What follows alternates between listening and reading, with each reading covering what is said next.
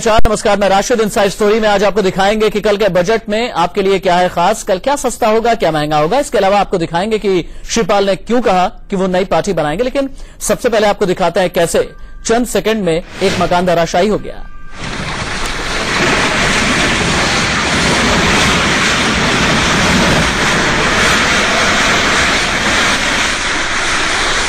तस्वीरों में आप देख सकते हैं कि सिर्फ़ 10 सेकंड में एक मकान मलबे में तब्दील हो गया। तस्वीरें हिमाचल प्रदेश के सोलन की हैं, जहाँ एक शख्स ने नियम कायदे को ताक कर रखकर मकान बनाने के लिए ऐसी खुदाई करवाई कि पड़ोसी का पूरा मकान ही जमींदोज हो गया। बताया जा रहा है कि जिस शख्स ने खुदाई करवाई थी, उसका भी एक पुराना मकान धराशायी हो गया। इतना ही नहीं, जमींदोज मकानों के मलबे में आसपास के कई और मकान भी दब गए।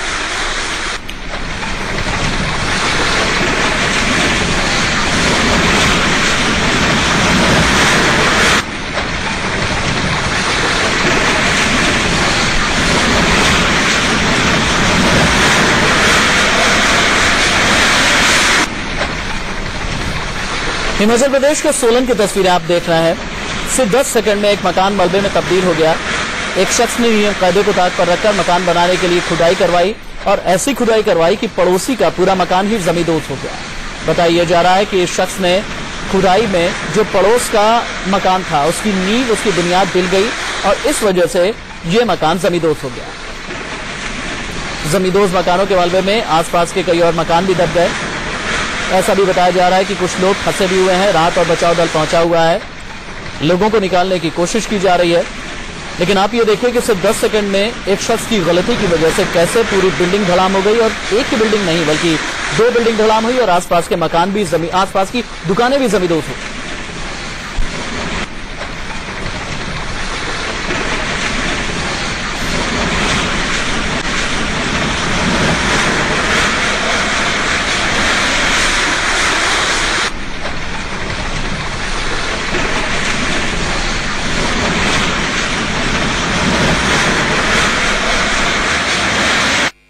आज मेरा मकान गिर गया। जिसकी वजह से नीचे प्लॉट कट रहा था अक्टूबर माह से।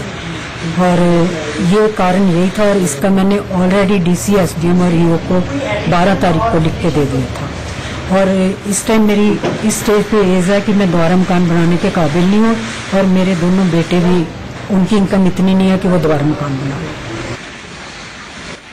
मेरे मकान की भी काफ़ी नुकसान हुआ है। अंदर दीवारों में सारी जगह क्रैक्स आ गए हैं, पौड़ियाँ गिर गया है, और लेंटर में भी बहुत मलबा गिर गया है।